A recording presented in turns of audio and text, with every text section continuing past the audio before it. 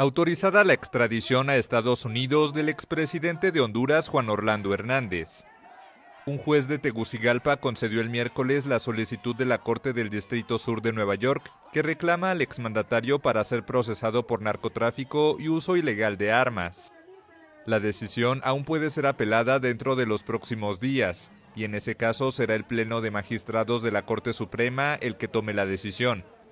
Mientras se desarrollaba la audiencia, decenas de simpatizantes del derechista Partido Nacional, al que pertenece Hernández, se concentraron frente al edificio del Poder Judicial al sur de Tegucigalpa, exigiendo la libertad del expresidente.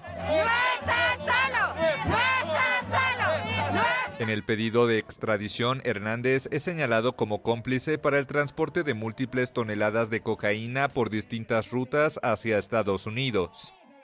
Según los fiscales de Nueva York, el exmandatario recibió millones de dólares por sobornos y ganancias de múltiples organizaciones del narcotráfico, incluido el cártel de Sinaloa de Joaquín El Chapo Guzmán, a cambio de la protección de su gobierno.